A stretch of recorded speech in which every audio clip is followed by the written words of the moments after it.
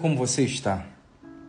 Tendo crises de ansiedade, dormindo mal, se alimentando mal, não consegue produzir, não consegue estudar, não consegue treinar, não consegue trabalhar direito, não consegue cuidar das pessoas que você ama, não consegue dar atenção aos seus amigos, não consegue sair, vive deitada, trancafiada dentro de um quarto, com enorme ausência de vontade, falta vontade para isso, para aquilo. E tudo isso por causa de um relacionamento. Por causa de alguém que simplesmente não está nem aí para você. Por causa de alguém que você vive derramando oceanos de afeto por essa pessoa. E ela não derrama uma gota por você.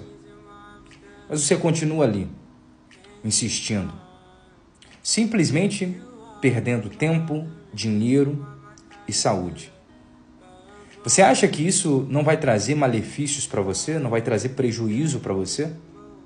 Você acha que essa insistência de ficar dando murro em ponta de faca, enxugando o gelo, não vai deixar marcas emocionais, rupturas emocionais em você?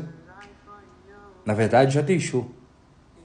Olha como você está: queda de cabelo, manchas pelo corpo, ataque de psoríase, dermatite, ganho de peso ou perda de peso. As suas noites de sono estão sendo horríveis. Quem dorme mal, vive mal. Você está simplesmente se acabando, definhando por causa de alguém que não merece uma gota desse oceano de afeto que você tem derramado por ela ou por ele. Aprenda a se levantar da mesa quando o amor não estiver sendo servido. Abra mão